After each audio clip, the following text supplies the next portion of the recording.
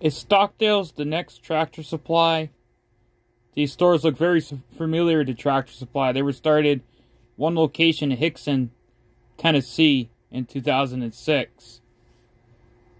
But their operations, their founding actually goes back to 1945 when a bunch of farmers started a co-op company.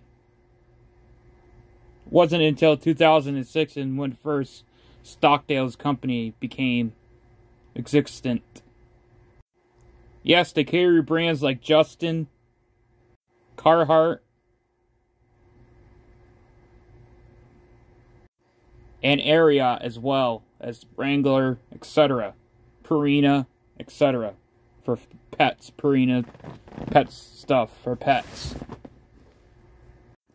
Since there's several locations over Kentucky, Tennessee, I wonder if these locations will start to double by a couple years from now as I'm saying that these look just like Tractor Supply as they were built to look just like Tractor Supply. It looks like Tractor Supply to me. I wonder if these stores will become just like Tractor Supply. A while back on this channel, I did a uh, farm supply store Saturdays where I covered just about every farm supply in America, but I never thought that this was existent. So this is kind of part of that, but uh, it's not really. It's just its own video, basically. But I covered basically the history of all other farm supply stores in those videos that was back in February of this year.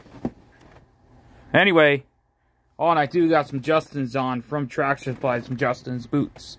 So, that's kind of ironic that I'm doing this video and also wearing Justin boots. Thanks for watching.